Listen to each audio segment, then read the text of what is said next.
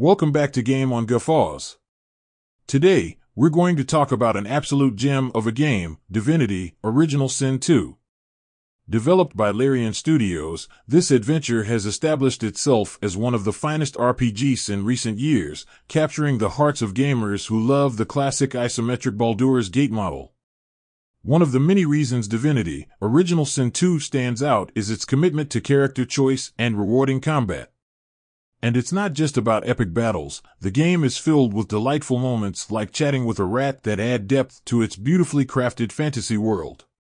But it's not all fun and games with rodents. Divinity, Original Sin 2 tackles important themes of marginalization and exclusion, focusing on sourcerers who are ostracized by society.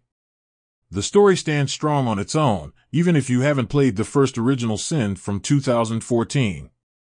The game achieves a remarkable balance between seriousness and lightheartedness, with richly written dialogue, engaging side quests, and a stunning visual presentation. The world is alive, and even minor interactions can lead to stirring tales or unique perspectives. The freedom and flexibility in Divinity, Original Sin 2 are truly impressive. You can use unconventional tactics to bypass puzzles or NPCs, and your decisions can have real consequences, adding weight to your choices. The co-op mode for up to four players adds another layer of unpredictability and fun, making it feel like a tabletop Dungeons and Dragons experience.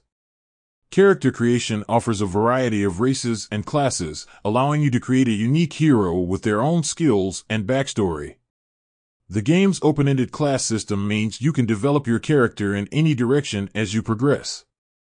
Divinity, Original Sin 2 also shines in its tactical gameplay, with turn-based combat that encourages experimentation and environmental interactions. The arena mode offers structured PvP for even more excitement. Despite some minor bugs, Divinity, Original Sin 2 is a masterpiece that will be remembered as one of the greats. It's a game that begs for multiple playthroughs, driven by the desire to uncover every hidden path and secret in its rich, living world.